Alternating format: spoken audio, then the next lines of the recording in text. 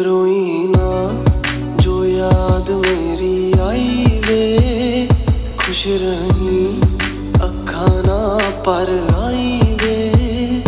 क्या हुआ, जो तू मुझसे